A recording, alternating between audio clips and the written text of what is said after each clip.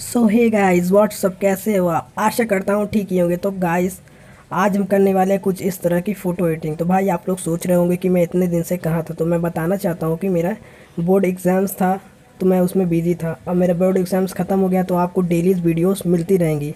तो अपने दोस्तों के साथ भी इस वीडियो को शेयर करिए, ताकि वो भी इस तरह की फ़ोटो एडिटिंग कर सकें। तो चलिए वीडियो को स्टार्ट करते हैं, बिना टाइम वेस्ट किए। सो so गाइस सबसे पहले हम पिक्सार्ट एप्लीकेशन को ओपन कर लेते हैं। उसके बाद हम अपने बैकग्राउंड को भी ओपन कर लेते हैं। उसके बाद हम जाएँगे इफ़ेक्ट्स वाले ऑप्शन पर।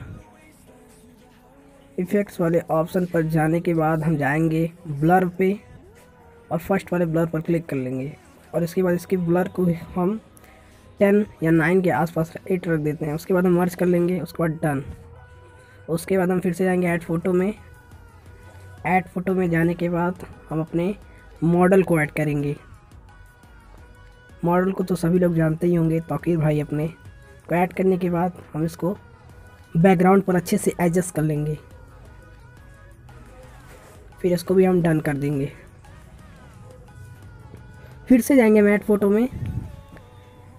ऐड फ़ोटो में जाने के बाद हम एक स्मोक पीएनजी को ऐड करेंगे।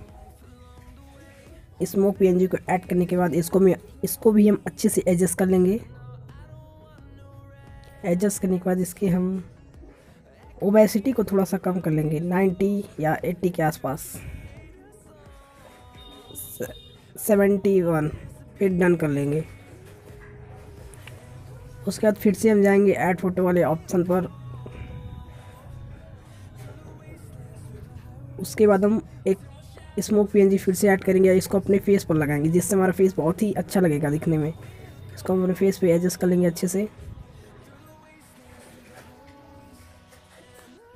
इसके बाद इसके हम ब्लेंड ब्लेंडिंग ऑप्शन को मल्टीप्लाई कर देंगे। उसकी ओबेसिटी को भी थोड़ा सा हम कम कर देंगे।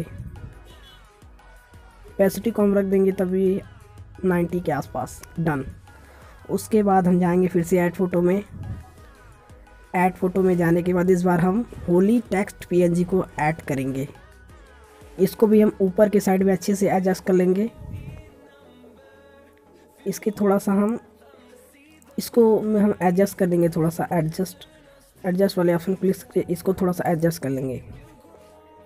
ब्राइटनेस को हम थोड़ा सा कम करेंगे। और कंट्रास्ट को थोड़ा सा हम बढ़ाएँगे। इसको भी थोड़ा सा कमी कर दे रहे हैं। क्लैरिटी को भी थोड़ा सा बढ़ाएँगे। सेचुरेशन को भी थोड़ा सा बढ़ा देते हैं। हाइलाइट्स को भी थोड़ा सा कम कर देते हैं। सैडो को भी थोड़ा सा कम कर देंगे। उसके बाद डन पे क्लिक कर देंगे। फिर जाएँगे हम ड्रॉ वाले ऑप्शन पर। और यहाँ से हम अपनी फ़ोटो को कर लेंगे सेव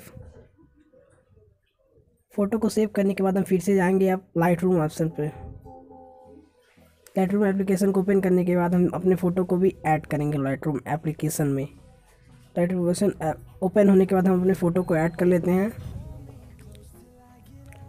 फ़ोटो ऐड कर लेंगे जल्दी से. ऑल फ़ोटोज़ पे क्लिक करेंगे.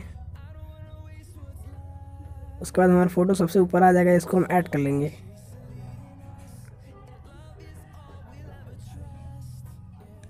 इसके लाइटिंग को हम थोड़ा सा एडजस्ट करेंगे तो इसको एक्सपोज़र को थोड़ा सा हम बढ़ाएँगे। थोड़ा सा कमी कर दे रहे हैं।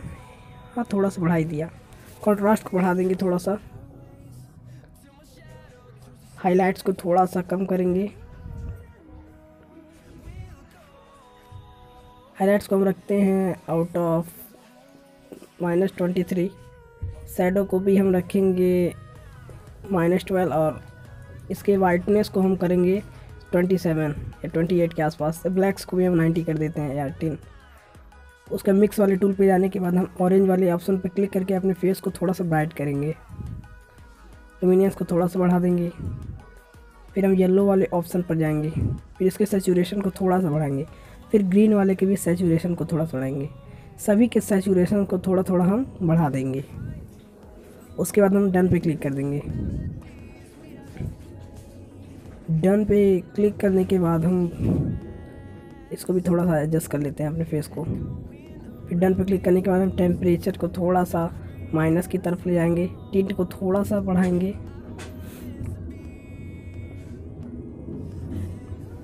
वाइब्रेंस को भी थोड़ा सा बढ़ाएँगे और सेचुरेशन को थोड़ा सा कम करेंगे। उसके बाद फिर से हम जाएँगे क्लैरिटी वाले ऑप्शन पर। क्लैरिटी को थोड़ा सा बढ़ाएँगे।